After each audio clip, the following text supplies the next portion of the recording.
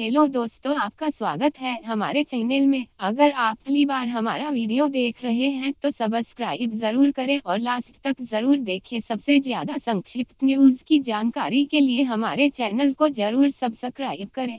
प्यार और दिल टूट जाए तो परेशान होने की ज़रूरत नहीं। इसका इलाज भी होम्योपैथी और बगैर किसी साइड इफ़ेक्ट के मुमकिन है। यह जानकारी होम्योपैथी के विशेषज्ञ डॉ हर्ष निगम ने शनिवार को Hahnemann education and development society की ओर से होम्योपैथी पर आयोजित संगोष्ठी और दी हर्ष ने बताया कि युवाओं और तनाव व अवसाद सबसे बड़ी समस्या बन रही है। इसका एक प्रमुख कारण रिश्तों की नाकामयाबी है। उन्होंने बताया कि एलोपैथ समेत दूसरी अन्य पद्धतियों और इलाज के नाम पर केवल नींद की दवा दे दी जाती है।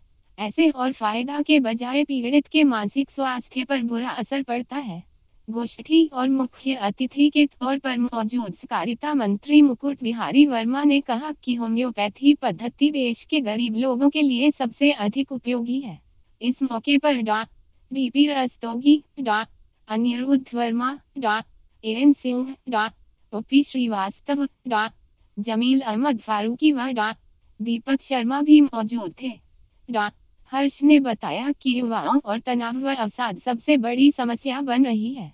इसका एक प्रमुख कारण रिश्तों की नाकामयाबी है। उन्होंने बताया कि एलोपैथ समेत दूसरी अन्य पद्धतियों और इलाज के नाम पर केवल नींद की दवा दे दी जाती है। ऐसे और फ़ायदा के बजाय पीड़ित के मानसिक स्वास्थ्य पर बुरा असर पड़ता है। गोष्ठी और मुख्य अतिथि के तौर पर मौजूद सहकारिता मंत्री मुकुट बिहारी वर्मा ने कहा कि होम्योपैथी पद्धति देश के गरीब लोगों के लिए सबसे अधिक उपयोगी है।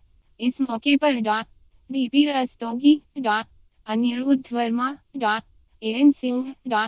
ओपी श्रीवास्तव, डॉ. जमील अहमद फारूकी व डॉ. दीपक शर्मा भी मौजूद थे। अवसाद के होते हैं चार चरण और हर चरण का इलाज अलग, डॉ. हर्ष निगम ने बताया कि तनाव व अवसाद को चार चरणों और बांटा गया है। इसके हर चरण का अलग इलाज किया जाता है।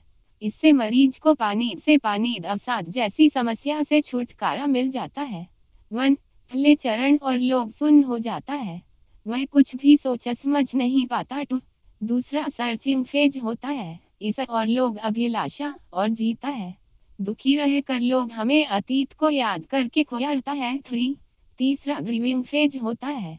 इस चरण और लोग बहुत दुखीरने लगता है और एक समय बाद वो आक्रामक, बदले की भावना सुसाइड व अपराध की प्रवृत्ति रखने लगता है। यह फ़ेज़ बेहद घातक होता है। फिर चौथे चरण को फेथ ऑफ़ रिकंस्ट्रक्शन कहते हैं। इस और मरीज़ लोग सारे चरणों को पार कर दोबारा सुधार की स्थिति और होता है, लेकिन इस चरण और भी मानसिक स्थिति के सुधार के लिए इलाज की ज़रूरत होती है। डॉ हर्ष निगम ने बताया कि देश और करीब टेन प्रतिशत दंपति बांझपन का शिकार है। इन और से करीब 60 प्रतिशत लोगों और इनफर्टिलिटी का कारण पता नहीं चल पाता। आईवीएफ तकनीक से भी केवल 12 से 14 प्रतिशत दंपति को ही कामयाबी मिल पाती है। इलाज होम्योपैथी से किया जाए तो करीब 25 प्रतिशत दंपति पूर्ण रूप से ठीक हो सकते हैं।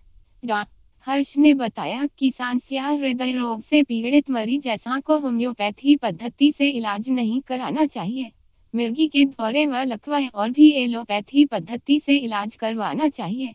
इन बीमारियों और मरीज़ के पास समय कुछ होता है। ऐसे और इस पद्धति से मरीज़ की जान नहीं बचाई जा सकती।